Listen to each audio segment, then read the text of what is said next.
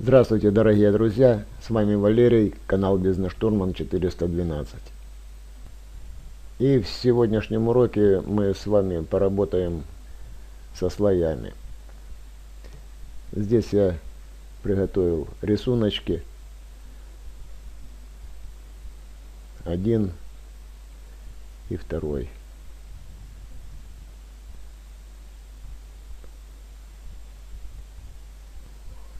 Итак, дублируем наш фон, как э, на предыдущем уроке рассказывал.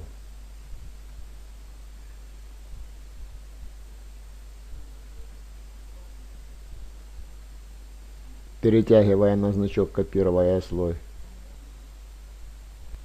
Закрашиваем его в белый цвет сочетанием клавиш э, Ctrl Delete, предварительно выбрав белый цвет.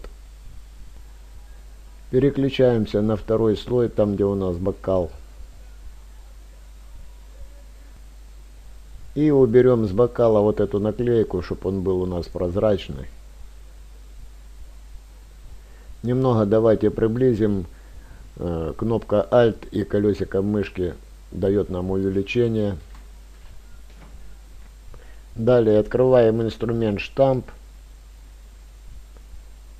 Нажимаем кнопку Alt и этом рисунке, что на бокале. И, и затираем левой кнопкой мыши рисунок. Для этого, чтобы затереть, надо было перед этим поставить крестик. Вот здесь вот нажимаем Alt, ставим крестик, и потом опять нажимаем левой кнопкой мыши и затираем. Вот, с крестиком ходит и затирает, видите? Лишнее что там у нас.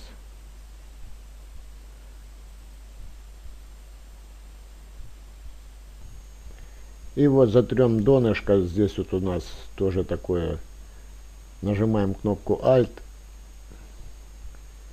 И потом щелкаем здесь, ставим крестик. И переносим его сюда тоже щелкаем с кнопкой Alt. Теперь нажимаем левой кнопкой мыши и ровненько вводим. И все у нас это затирается.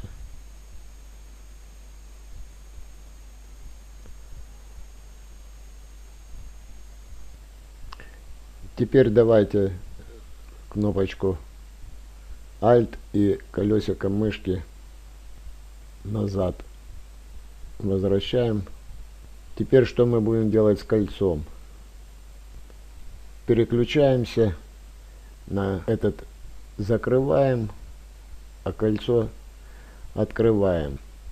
И переходим, берем магнитное лассо правой кнопкой мыши, выбираем магнитное лассо и выделяем кольцо.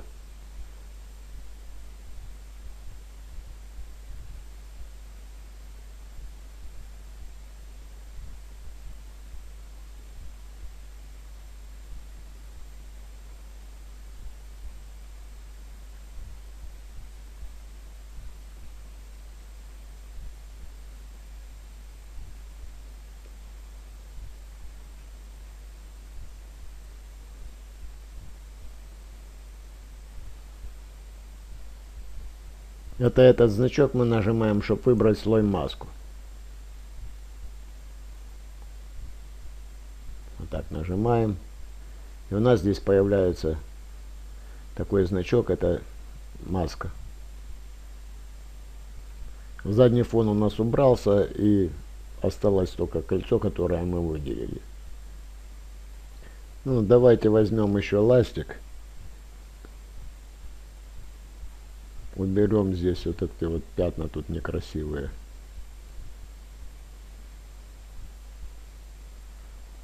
Делаем скобочку меньше. Скобочками на клавиатуре. И вот это вот здесь убираем.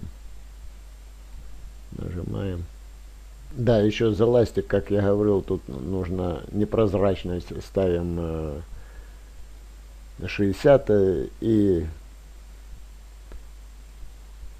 нажим ставим 90, 89, 90 с лишним. Это чтобы гладкие места сгладить это. Опять же правой кнопкой выше, мыши размер выбираем.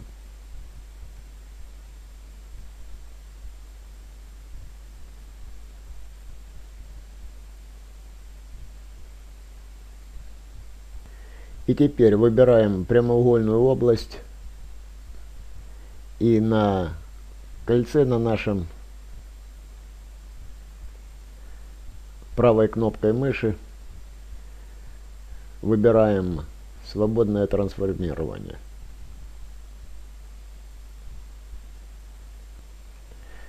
Это мы делаем для того, чтобы уменьшить э, кольцо, чтобы поместить его в бокал.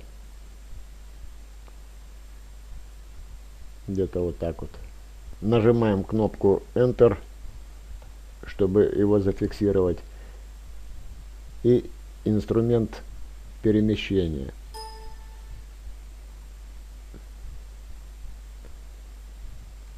Теперь берем его вот так вот тут ставим в бокал сюда.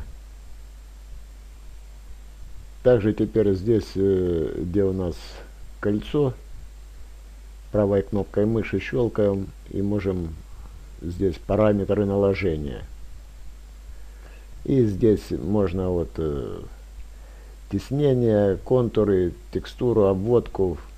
Ну это уже тут э, поэкспериментируйте сами, как оно будет, чтобы лучше смотрелось это кольцо.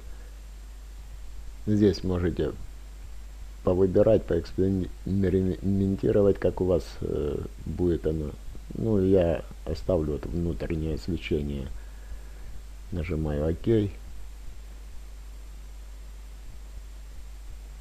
Ну вот на этом и основывается принцип работы фотошопа. Эффекты, которые вы наложили на кольцо, здесь вот отражаются под ним в этой области.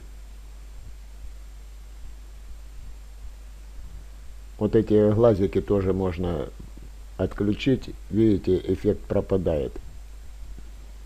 Если же включаем, вот появляется еще раз свечение. Здесь все у нас переключается отдельно. Вот.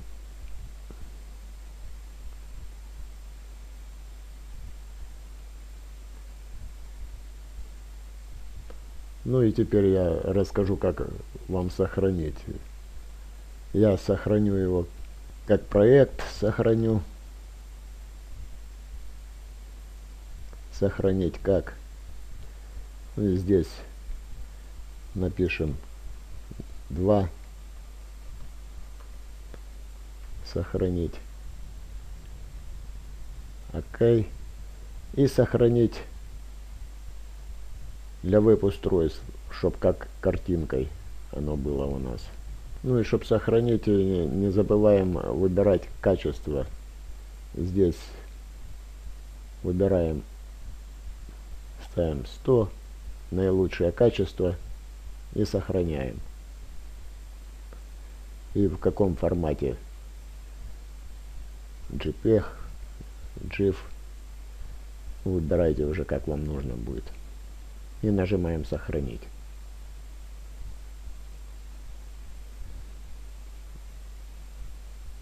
Заменить.